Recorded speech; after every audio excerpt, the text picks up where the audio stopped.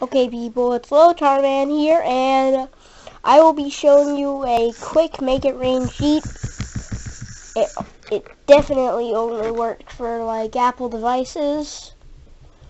And if you are fans of Make It Rain, this is the Make It Rain game that I'm a big fan, so I download lots of clones of it sometimes. So, um, if you guys also have clones, you can also use this for the clones, of course. um, so, oh my god, not. Um, so this is just part of the cheat. That's what I wanted to show you. Okay, so see? I'm swiping. Wait, I'm just gonna take you to, guys to make it rain.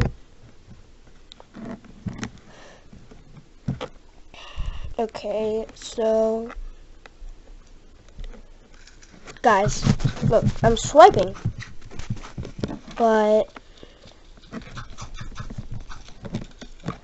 okay, so you're gonna go to settings, go to general, accessibility, then you go all the way down to assistive touch and then um so look um so you turn on assistive touch of course if it's not turned on.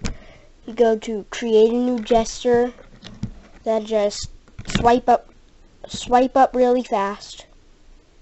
Save. Just gonna name this tap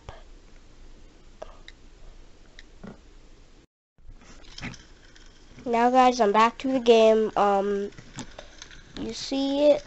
It's kind of hard to see but you just like there's gonna be a little square it with a dot. You press on it and see this pops up. You go over to favorites and then you like choose one of your gestures I'm gonna choose this one. What what what the heck? Okay let me just go back to the game so I choose this one. Um, and then, wait, okay, never mind. That one didn't work. Um, how about this one? That's the one I was on. Then you see that little dot? You, I, it, probably can't see it, but, you know, uh, man. Oh well, but you'll probably notice that a dot popped up on your screen. You can kind of...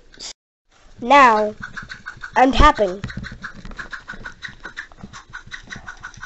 You pretty much just tap the dot and then it swipes for you.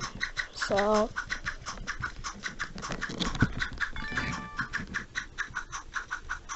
Okay guys, um, just like, subscribe, leave a comment. I don't care. Peace.